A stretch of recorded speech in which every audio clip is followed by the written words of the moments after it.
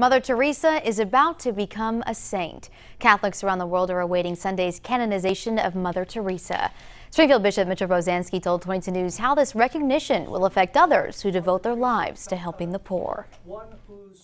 When I think of the countless men and women, religious, lay people, who work in Catholic charities and in different agencies throughout the world. For example, uh, our own uh, Catholic Relief Services.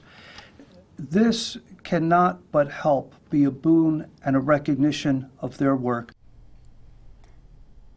Mother Teresa visited the University of Massachusetts in June of 1985.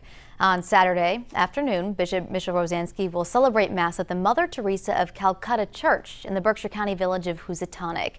It'll soon be renamed St. Teresa of Calcutta Church.